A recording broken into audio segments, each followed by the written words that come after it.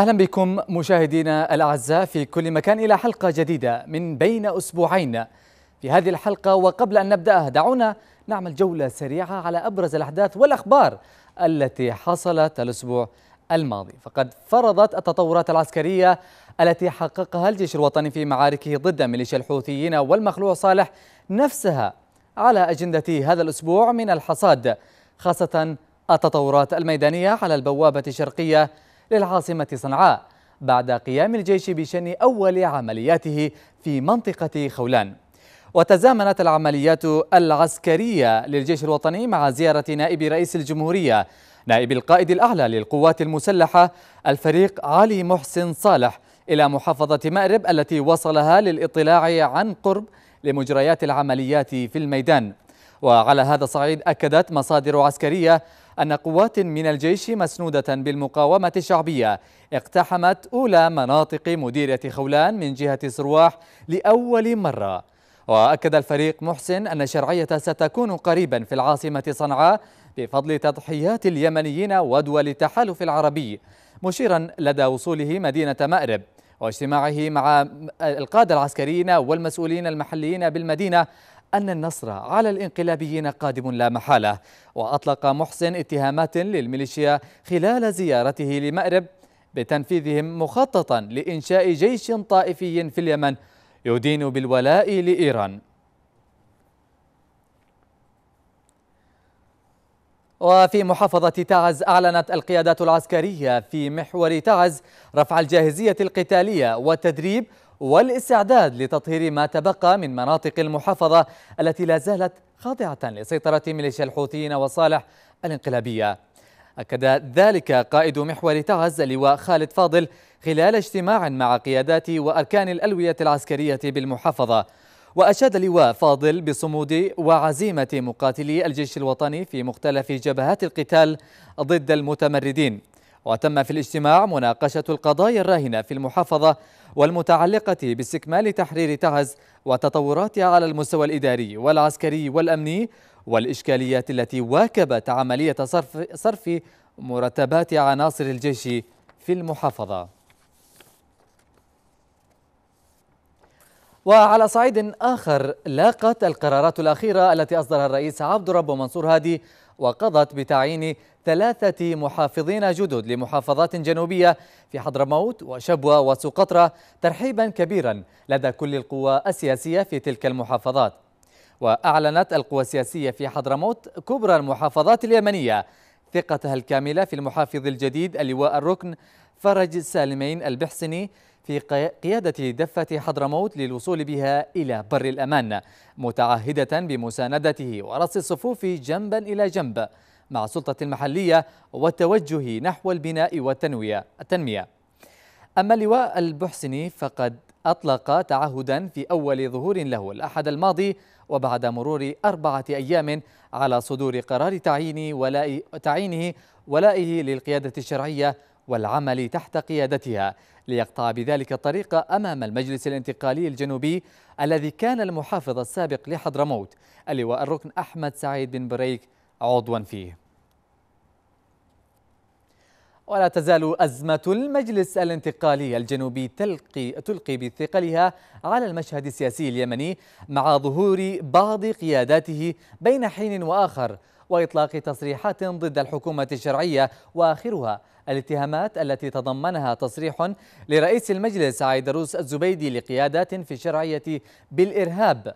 الأمر الذي جعل الحكومة تسارع في إصدار تصريح شديد اللهجة على لسان مصدر مسؤول فيها. يتهم فيه الزبيدي بالولاء لإيران وممارستهم دورا رديفا للإنقلابيين. وأردفت الحكومة في تصريح في تصريح المصدر المصدر المسؤول لرئيسها أحمد عبيد بن دغر. الاثنين الماضي أكد فيه تمسك أو تماسك الموقف الوطني والإقليمي وتوحده في مواجهة ميليشيا الحوثيين والمخلوع صالح. وبعيدا عن المعارك السياسية والعسكرية يخوض الشعب اليمني معركة منفردة مع وباء الكوليرا التي غزت معظم المحافظات في البلاد وآخرها حضرموت وفقا لما أكدته منظمتي الصحة العالمية واليونيسف إذ ارتفعت عدد الوفيات إلى 1700 حالة وفاة و270 ألف حالة إصابة وأمام هذه الإصابات أو وأمام هذا الوضع الإنساني المتردي خرجت اللجنة العليا لمكافحة جائحة الكوليرا والإسهالات المائية الحادة بإعلان في أول تقريرها إلى الحكومة أكدت فيه ارتفاع نسبة التشافي بشكل كبير من مرض الكوليرا وانخفاض الوفيات في بعض المحافظات مشيرة بالمقابل إلى أن الوضعي الوضعي الصحي للمرض لا زال على حاله في محافظات أخرى بالبلاد. وأصدر رئيس الوزراء أوامر إلى وزارة المالية بصرف 400 مليون ريال لمحافظات إقليم عدن وذلك لمواجهة وباء الكوليرا ومعالجة أسبابه. في حين أعلنت منظمة أكسفام الإنسانية الدولية تقديمها مساعدات لليمن بنحو نصف مليار دولار لمواجهة تفشي وباء الكوليرا في البلاد. أما وزارة الصحة فقالت إنها أعدت خطة من شأنها المساهمة في التخفيف التدريجي والقضاء على وباء الكوليرا. وفقا لما أكده وزيرها ناصر باعوم. وفي هذا الخضم من الإعلانات الحكومية والدولية لا يزال المرض يفتك بالعشرات من اليمنيين خاصة القاطنين منهم في المحافظات الخاضعة للإنقلابيين حيث ترصد منظمة الصحة العالمية واليونسف ومنظمات محلية أخرى إصابة ووفاة العشرات خاصة في أوساط النساء والأطفال. وليس ببعيد عن ذلك أو عن تلك المعاناة التي يكابدها السكان المحليون بفعل انتهاكات ميليشيا الحوثيين والمخلوع صالح خاصة في محافظة تعز والمحويت والحديدة. ورصدت منظمات محلية قيام الميليشيات بارتكاب مئات الانتهاكات للسكان في تلك المحافظات. تنوعت ما بين تهجير قسري وقتل واختطافات وتعذيب واقتحام للقرى والمساكن واحتلال للمباني الحكومية وغيرها من الانتهاكات.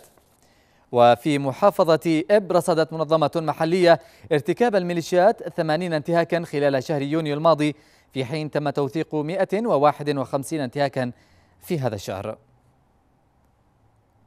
وإلى آخر خبر لنا في هذه الجولة السريعة في محافظة الوحيد أو الحديدة عفوا كشفت رابطة أمهات المختطفين قيام الميليشيات بالتحضير والإعداد لإجراء محاكمة لعدد من المخطوفين في سجونها دون إشعار أو إشعار عائلاتهم. وبهذا الملف الإنساني نختتم مشاهدينا هذه الجولة السريعة من الجولة السريعة الإخبارية لهذه الحلقة. إذا دعونا نسلط مشاهدينا على موضوعين مهمين حدثا خلال الأسبوع المنصرم. الأول يتعلق بالتقرير الذي أصدرته منظمة سام للحقوق والحريات الذي تحدثت فيه أو عرضت فيه وكشفت عددا من الحالات التي يعني توفوا نتيجة التعذيب وأيضا الإعدامات الميدانية واستمعت إلى قصص عديدة حصلت خلال العامين الماضي.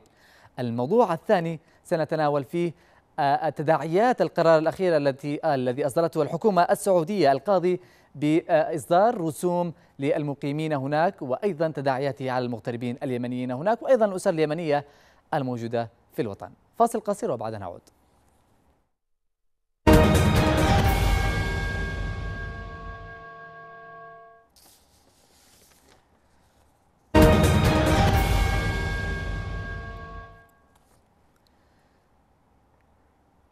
يمارس الحوثيون والمخلوع جرائم وانتهاكات بحق المدنيين في ظل بيئة منعدمة إعلاميا لتنقل جرائمهم. آخر هذه الجرائم ما كشفته منظمة سام للحقوق والحريات عن إعدامات ميدانية وقتل نتيجة التعذيب. وعرضت المنظمة قصصا عن حالات تعذيب تمارس بحق المختطفين وحالات إعدام ميدانية تمارس خارج القانون. وقالت المنظمة أن ما يزيد عن 150 حالة إعدام ميداني ونتيجة للتعذيب تم رصدها خلال العامين الماضيين. 93% منها ارتكبها الحوثيون والمخلوع وتوزعت النسب الأخرى على الحكومة وجماعات مجهولة. مشاهدينا دعونا نناقش هذه القضية مع ضيفنا هنا في الاستوديو السيد موسى النمري الناشط آه النمراني عفوا الناشط الحقوقي آه، مرحبا فيك سيد آه، موسى. مرحبا. آه، دعنا في البداية نسلط الضوء أكثر على هذا التقرير الذي أصدرته منظمة سام للحقوق والحريات. ربما هو من أقوى التقارير التي أصدرت حتى الآن تتناول فيها الإعدامات الميدانية تتناول فيها جرائم ضد يعني جرائم تعذيب حتى الموت. هل من قراءة أولية لهذا التقرير سيد موسى؟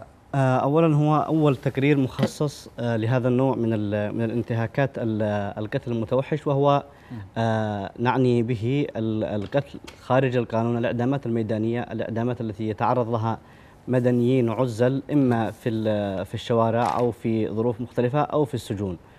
وبالتالي هو لا يشمل جرائم القتل التي يتعرض لها المدنيين آه، بالألغام أو آه، غير ذلك من من الحوادث التي قتل فيها مدنيين إنما يتعلق بجرائم القتل المتوحش أي قتل العزل وقتل الأسرى أو المختطفين. يعني التقرير خصص آه، حالتين أو تكتيكين يستخدمهما الحوثيين أو غيرهم من الجماعات الأخرى في عمليات القتل والانتهاكات وهما عمليات التعذيب حتى الموت وعملية الإعدام الميداني. نعم التعذيب الموت تحت التعذيب أو بسببه والإعدام الميداني. طيب يعني آه، هو رصد 150 حالة خلال عامين هل هذا هو الرقم فعلا؟ آه آه, آه، لو اطلعت أنت أو حتى أي أي قارئ اطلع على التقرير هو هذه الحالات التي رصدتها المنظمة وهي لا تعني انعكاس كامل لما هو على على الأرض وأيضا لا تعني حتى نسبة مئوية لا نستطيع أن نجزم أن هذه الحالات التي تمكنا من رصدها والوصول إليها وتسجيلها أنها آه، نسبة حتى مئوية مما يحدث على الواقع. الواقع يقول أن هناك كثير من الجرائم غير المرئية غير المنظورة التي لا نستطيع الوصول إليها والتي لا يسلط الإعلام الضوء عليها في مناطق ليس فيها راصدين ولا يصل إليها أحد. آه، ولكن نحن نعول على العدالة التي لا بد أو لا شك أنها آتية وعلى توثيق الناس توثيق ذوي الضحايا لهذه القضايا. وبالتالي آه، الاحتفاظ بالأدلة حتى يأتي قضاء عادل ونزيه آه، يقوم بالتحقيق وإصدار الأحكام بحق آه، مرتكبي هذه الانتهاكات يعني وهذه الجرائم. لا نستطيع أن نجزم بأن هذه الحالات هي 150 حالة في خلال عامين. ربما هي أكثر لكن لم يصل إليه الإعلام ولم يتم توثيقها. هي بالتأكيد أكثر. نعم. طيب سيد موسى يعني من خلال القصص الموجودة في هذا التقرير ما الذي لاحظته؟ من جراء هذا هذه القصص؟ آه، هناك آه، جرائم ارتكبت عمدا. هناك من أطلق عليه النار في في مناطق في الرأس يعني بالتحديد وهو معتقل. مثال ذلك حالة وليد الإبي من المعتقلين تحديدا يعني. وهناك جرائم ارتكبت بدافع إرهاب المجتمع وترويعه. وهناك جرائم ارتكبت بسبب خلينا نقول ضعف خبرة المحققين أو ممارسي جرائم التعذيب ضعف خبرتهم آه وبالتالي آه وصول المعتقل إلى حالة صحية سيئة يتوفى بسببها.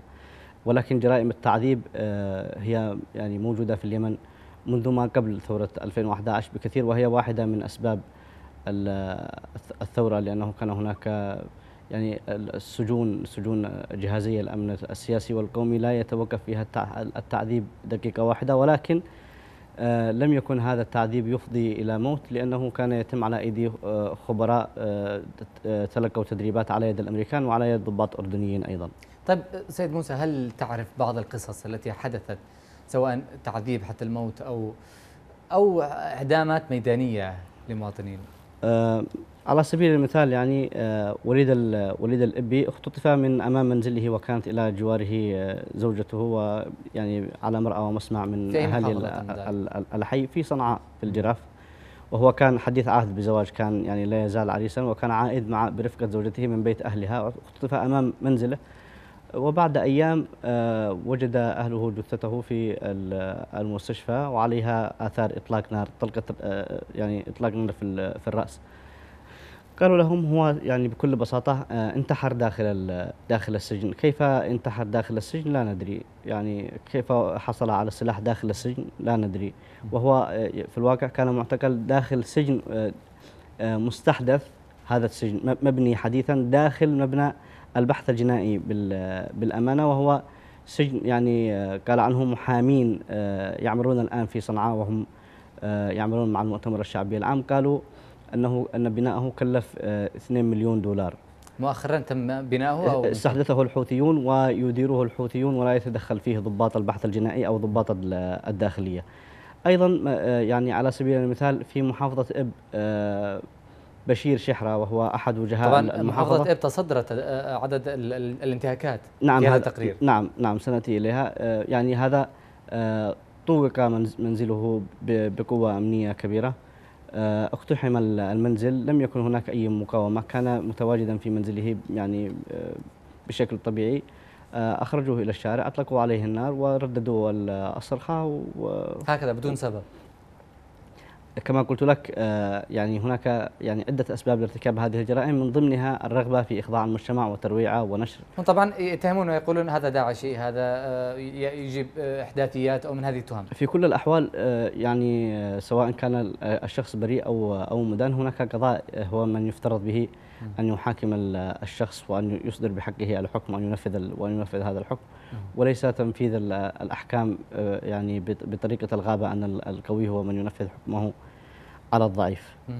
طيب كنت تحدثت قبل قليل بأنك ستتحدث عن محافظة إب. آه ليس محافظة إب بالتحديد وإنما محافظة إب وذمار وغيرها من المحافظات التي ليس فيها مواجهات ليس فيها أحداث. آه ليس فيها آه حرب حتى نقول أن هذه أن هذه الجرائم التي ارتكبت بحق المواطنين القتل المتوحش أنها كانت بسبب بسبب الحرب أو بسبب آه، المواجهات أو أخطاء آه، إنما آه، ارتكبت عن سبق إصرار وترصد يعني محافظات يسيطر عليها الحوثيين يعني 100% وليس فيها حتى مقاومة هذه. الأحداث كل الأحداث المرصودة في هذا في هذا التقرير ليس لها علاقة حتى بأحداث المواجهات ما بين المقاومة والحوثيين أو حتى بين الجيش الوطني والحوثيين هذه كلها جرائم متعلقة بمدنيين تعرضوا للقتل بدم بارد منهم طبعا الذين وضعوا كدروع بشرية ومنهم من قتل تحت التعذيب ومنهم من قتل آه، يعني بإعدام ميداني. طيب سيد موسى هل ترى بأن غياب الإعلام أو الوسائل الإعلامية عن هذه المحافظات بالتحديد نتحدث عن حجة غياب كامل أيضا محافظة صنعاء وهي العاصمة يعني غياب الإعلام عنها كل هذا ساعد الحوثيين والمخلوع صالح على الاستمرار في هذه الانتهاكات الاستمرار في عملية الاعتقالات الاقتحامات التعذيب الإعدام الميداني؟ آه، اولا يعني حتى نضع النقاط على الحروف هو الإعلام لم يغب من تلقاء نفسه وإنما غيب. هناك عشرات الإذاعات المحلية التي لم يكن لها علاقة حتى بتغطية الأخبار نهبت معداتها. آه، عشرات الصحف منها ما كان يصدر بشكل يومي أيضا أغلقت وصدرت. القنوات الفضائية آه، أغلقت بما فيها القنوات المحلية التي لم يكن لها علاقة حتى بتغطية الأخبار أو بالتوجهات السياسية. وبالتالي هناك نية مبيتة لإخفاء الشهود وارتكاب هذه الجرائم. يعني إخفاء الإعلام أو تغييب الإعلام واحدة من من الجرائم وهي آه، ما يمكن أن نسميها بالجريمة المركبة آه، أن أن تطفئ النور ثم ترتكب الجريمة.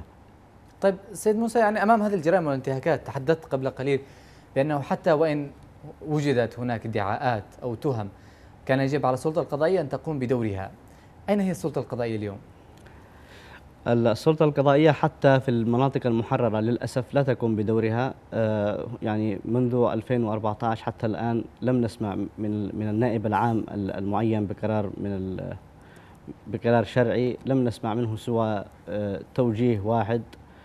آه، أيضا المحاكم لا تقوم بدورها ولذلك تلجأ أقسام الشرطة للقيام بدور بدور المحاكم وتمتلئ السجون بالمعتقلين يعني سواء كانوا لقضايا سياسية أو حتى في خلافات اجتماعية وقضايا عادية خصومات عادية.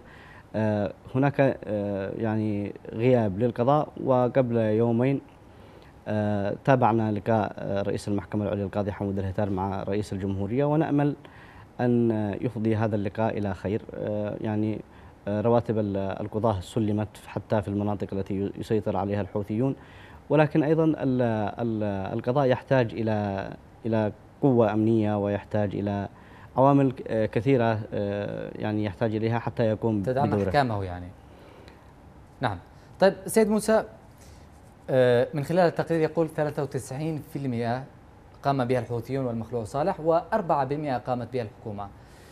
طيب بالنظر إلى ما جرى من الفضيحة الأخيرة عن السجون السرية التي آه، تم الكشف عنها في محافظات حضرموت وفي محافظة عدن. هل نستطيع أن نقول بأن الأمر مشابه أيضا؟ ما يجري في عدن يجري أيضا في حجة يجري أيضا في صنعاء؟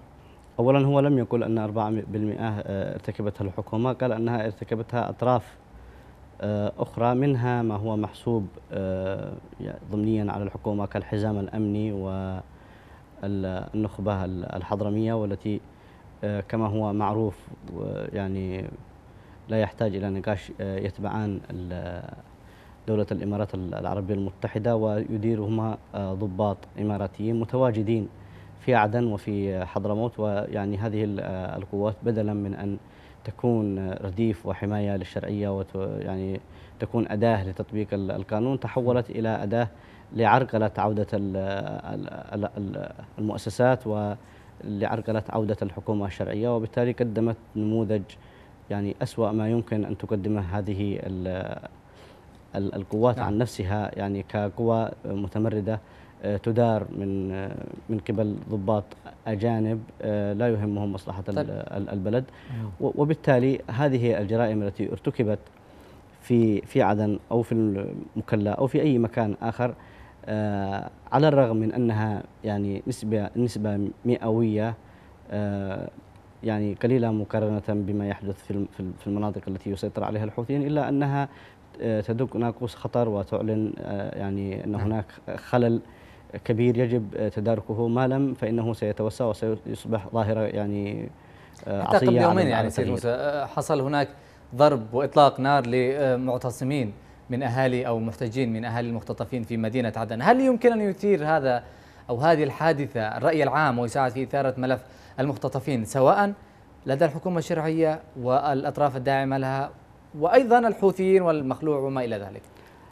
شوف عندما تكون عندما يكون آه، الحرب هي السائدة لغة الحرب هي السائدة فلا تعول على على الرأي العام. الناس الآن يعني يعبرون عن أنفسهم بالقوة وبالسلاح وبالبنادق وبالتالي مساحة الرأي العام آه، يعني آه، هامشية ولا تكاد تذكر في في في ظروف في ظروف الحرب ولكن ما يعول عليه هو القرار الذي يتخذ في الغرف المغلقة أن يكون هناك قرار حازم وحاسم بإنهاء هذا الملف وتسليم عدن للحكومة الشرعية لتقدم آه، النموذج الذي يجب أن تقدمه أي دولة أو أي سلطة شرعية منتخبة آه، من حقها أن آه، أو من واجبها أن تقدم الخدمات للناس وأن تنفذ القانون وأن تسهر على رعايتهم. أما أن أن تتحول هذه القوات إلى عائق وإلى مرتكب للانتهاكات فهذه جريمة مركبة. طيب لو لو سلطنا الاهتمام أكثر عن للمنظمات الدولية نتكلم عن الهيومن رايتس ووتش نتكلم عن الأوكسفام نتكلم عن منظمات حقوقية دولية كثيرة. لاحظنا الزخم الإعلامي والرأي العام الكبير الذي حدث آه، والذي كان مصاحبا لفضيحة السجون السرية الإماراتية في عدن وفي حضرموت. هل يمكن أن نشاهد ونلاحظ ذات المستوى من إثارة الرأي العام مع هذا التقرير الذي أصدرته منظمة سام في صنعاء في حجة في إب في غيرها؟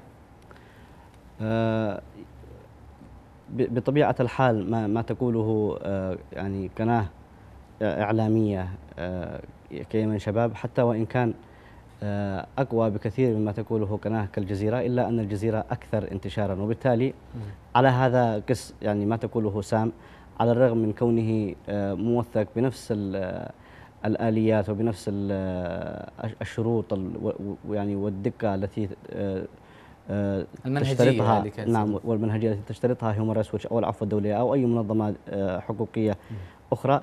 إلا أن شهرة المنظمة وسمعتها الدولية يعني ليست بهذا المستوى الذي يكفي للتأثير على الرأي العام الدولي. تقصد بأن الإعلام هو من يثير هذه الملفات؟ المنظمات هي تعمل على إظهارها ومن ثم تأتي وسائل الإعلام لإثارتها للرأي العام. لا أنا لا أقصد هذا وإنما أقصد المقارنة المقارنة بين مستويات وسائل الإعلام ومستويات انتشارها ومستويات منظمات حقوق الإنسان وانتشارها. طيب كيف تقيم مستوى آه، تغطية هذه المنظمات لحال المختطفين لدى آه، آه، الحوثيين والمخلوع صالح في صنعاء في إب في الحديدة في حجة في البيضاء في غيرها. هي قدمت تقارير ورصدت حالات ولكن هذا لا يكفي التغطية والرصد هذا لا يكفيان يعني يجب أن يكون هناك تحرك أقوى وأكثر جدية حتى يكون أكثر جدوى. المعتقلون في صنعاء يتعرضون لانتهاكات أو في أو حتى في الحديدة وفي أي مكان آخر تحت سلطة الحوثيين. وهم حتى بالمناسبة آه، ليس ليسوا آه، كلهم سياسيين أو حتى يتبعون المقاومة أو ينتمون إلى الإصلاح أو إلى غير ذلك. هناك كثير من من المعتقلين. بعضهم آه، اعتقل لأنه ابن تاجر وبعضهم لأنه صراف وبعضهم اعتقل بسبب وشاية وبعضهم بسبب ابتزاز إلى غير ذلك ويتعرضون لأشكال بشعة من الانتهاكات. يجب على هذه المنظمات يعني على وجه التحديد أن تقوم بدور أكثر فاعلية في مراقبة هذه السجون. لا يكفي أن تزور السجن من الخارج أو أن تقدم استجواب أو سؤال إلى السلطة حتى وترد عليه أو تقول أن تلقيت الرد الفلاني تلقيت هذا الرد أو تقول أنني لم أتلقى ردا. وإنما يجب أن تزور هذه السجون أن تسمح أن تسمح هذه السلطات إذا كانت صادقة أو تدعي أنها تحترم أو أو تطبق معايير السجون على هؤلاء السجناء أن تسمح بزيارات منظمات حقوق الإنسان المفاجئة وأن تسمح بتركيب كاميرات في في عنابر السجناء الذين يتعرضون للانتهاكات وتثبت أنها لا تقوم بهذه الانتهاكات. يعني تركيب مثل هذه الكاميرات وهذه الوسائل ربما يحمي المختطفين من نعم. ممارسة هذه الانتهاكات؟ طبعا وهي تجربة يعني طالب بها وطبقت في في في بعض الأماكن وهي واحدة من من أساليب الشفافية ان أن يكون هذا المعتقل محمي بعين تراقب تراقب تراقب السجين وتراقب السجان. يعني هذه الوسائل متخذه ضد مجرمين موجودين في دول أخرى فكيف بناس أبرياء موجودين في هذه السجون؟ نعم سواء يعني كانوا أبرياء أو كانوا مدانين هم يعني لهم حقوق. يعني حتى إذا اتفقنا جدلا مع مع مع الحوثيين أو أو حتى مع مع النخبة أو مع الحزام الأمني أن أن المعتقلين الذين لديهم خطيرين وارتكبوا جرائم إلى ما هنالك من من من الادعاءات التي يدعونها بحق ضحاياهم لنفترض جدلا أن هؤلاء متهم أن هؤلاء المتهمين مدانين وصدرت بحقهم أحكام قضائية لهم حقوق أيضا لا بد أن ترعى. طيب سيد موسى تحدثت قبل قليل عن السجون الموجودة ويجب مراقبتها، لكن ماذا عن السجون التي تتبع شخصيات؟ سجون تتبع الشيخ الفلاني سجون تتبع القيادي الحوثي الفلاني في محافظة في مديرية في كذا. سجون سرية هي عبارة عن بيوت وعبارة عن أقبية يوضع فيها السجناء لمجرد أنه اختلف مع الشيخ أو اختلف مع القيادي الحوثي. هذا من إرث النظام السابق الذي ثار عليه الشباب في عام 2011 كان هناك سجون يعاني منها المواطنين في يعني كان هناك أيضا سجون حتى لبعض المؤسسات الرسمية آه، ولبعض النافذين ومحمية آه، بنفوذهم وبعلاقاتهم بالرئيس السابق. ولكن آه، ما يحدث الآن ليس مجرد إرث هو ارتداد ونكسة يعني نكسة كبرى يعني مني بها اليمنيين أن يتعرضوا لكل هذه الانتهاكات وأن يتحولوا إلى طعم أو أو إلى صيد سهل آه، للسجون يعني أن يتعرض الشخص للاختطاف والتعذيب حتى يدفع فدية أو يتعرض الشخص للاختطاف حتى يسلم أحد أقاربه. هذه جرائم ترتكب الآن بحق اليمنيين يعني آه، بأعداد مهولة. طيب ما يتعلق بمتابعة؟ هناك أعداد من السجناء مخفيين ولا يعرف مصيرهم سواء من آه، المتواجدين لدى سجون الحوثيين والمخلوعة أو المتواجدين لدى القوات الأمنية في عدن النخبة الحضرمية آه، القوات الإماراتية أيضا كيف يستطيع الأهالي متابعة آه، ذويهم المختطفين؟ آه، في في في المناطق التي يسيطر عليها الحوثيين أهالي المختطفين نظموا أنفسهم في في رابطة سمتها الأمهات رابطة أمهات المختطفين آه، وهناك هيئة آه، هيئة محامين للدفاع عن هؤلاء ومتابعة قضاياهم والمطالبة بالإفراج عنهم. وهي تنجح كثيرا في آه، يعني في استخراج أوامر الإفراج عنهم. وحتى في يعني المساعدة في عمليات المبادلة بين المختطفين الذين اختطفوا من أعمالهم وبين ويعني ومن أماكن مدنية وبين الأسرى الحوثيين. ولكن هذا لا يكفي. هناك يعني عشرات القضايا من المخفيين قسريا لا أحد يعرف أين هم ولا أحد يعرف مصيرهم ولا تعترف بوجودهم السلطات التي أخفتهم. ويعني يشعر أهاليهم بقلق كبير على الأسر وهي تبحث وتلاحق وتذهب نعم. إلى السجن الفلاني وتذهب إلى المحكمة الفلانية وتذهب إلى القيادي الحوثي الفلاني للمطالبة يعني نتحدث عن أمهات المختطفين للمطالبة بابنها ولا تعرف عن مصيره شيئا نعم وأنت آه، تتابع وكذلك المشاهد يتابع الوقفات الاحتجاجية والأنشطة والرسائل التي وجهتها رابطة أمهات المختطفين وجهت رسائل إلى آه، إلى قيادات الحوثيين أنفسهم ووجهت رسائل إلى آه، المبعوث الأممي وإلى رئيس الجمهورية وإلى غيره إلى غيرهم من المعنيين بهذه القضية وهو نشاط يعني هو ربما نستطيع أن نقول أنه العمل الحقوقي الوحيد الآن الذي يحدث في صنعاء. طيب هل نشهد أيضا في محافظات عدن والمحافظات المحررة عملا موازنا موازيا لما تم تشكيله في محافظة صنعاء من هيئة أمهات المختطفين أي أن هناك هيئات وجمعيات تبدأ بتكوين نفسها والمطالبة بالإفراج عن المختطفين الموجودين في سجون النخبة الحضرمية القوات حزام الأمني القوات الإماراتية ما إلى ذلك. في في عدن هناك فريق فريق من المحامين والنشطاء الحقوقيين معني بالدفاع عن عن حقوق المختطفين وهو أيضا آه، لديه قاعدة بيانات وينجح بين فترة وأخرى في الإفراج عن عن المعتقلين. آه، ولكن في يعني مؤخرا القبضة الأمنية ازدادت صلابتها وشدتها. تعرضت الوقفات التي ينفذها أهالي هؤلاء المختطفين للقمع والتفريق والمنع. أما في بالنار أيضا قبل نعم نعم في عدن. نعم. أما في في محافظة حضرموت فالأمر أسوأ من ذلك. آه، آه، هناك وقفة يتيمة شارك فيها الأهالي. آه، اعتقل بعدها منظم الوقفة وهو ناشط حقوقي علي باقطيان. ولا يزال معتقلا حتى الآن وهو كان معتقل سابق بعد أن خرج شارك أو نظم وقفة احتجاجية لأهالي المعتقلين نعم. والمخفيين في مطار الريان المطار الذي تحول إلى إلى سجن للأسف ولا يزال معتقلا حتى الآن. طيب قبل أن ندخل في المحور الثاني هناك سؤال مهم أريد أن أطرحه عليك سيد موسى. ماذا تنصح الأسر الذي يعني أول ما يتبادل لذهنهم أن ابنهم أو آه، ابنهم تم اختطافه أو تم اعتقاله أو تم أخذه من أي مكان؟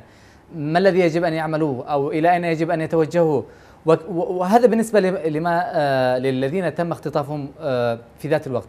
ماذا عن الذين تم الإفراج عنهم؟ هل يستطيعون متابعة آه، يعني المجرمين الذين تم تعذيب يعني تم التعذيب من خلالهم ومحاكمتهم والتعويض أيضا عن ذلك؟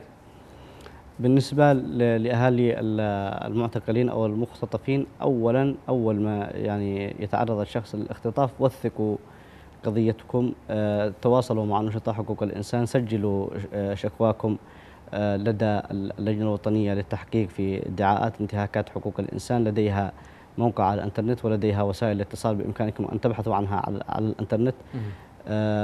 وثقوا قضيتكم وانشروها. لا تسكتوا لا تدفعوا أتاوات ولا تدفعوا لخاطفي أبنائكم. ولا تسكتوا. نعم. لا تصدقوا الوسطاء الذين يعدونكم بالإفراج عنهم يوما بعد آخر. هذا يعني عمل ممنهج يقومون به لصالح الميليشيا. الوسطاء الذين يطالبون منكم بالصمت والتريث الوسطاء الذين يطالبون منكم بدفع الأموال هم كلهم عاملين مع الميليشيا ويترزقون من آه، خلال ارتكاب هذه الجرائم بحقكم وبحق أبنائكم. نعم.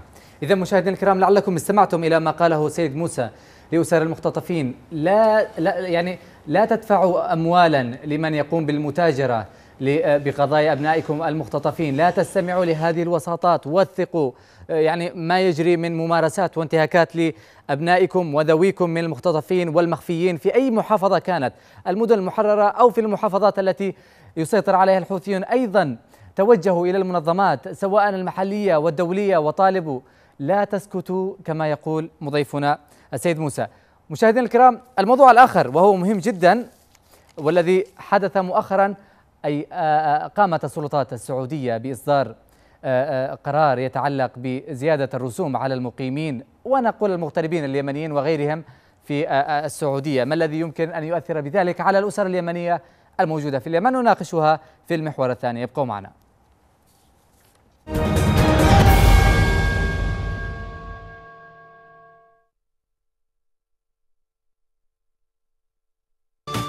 ليصلك كل جديد. قم بالاشتراك في قناة راديو وتلفزيون يمن شباب على موقع يوتيوب. واضغط الجرس ليصلك الإشعار.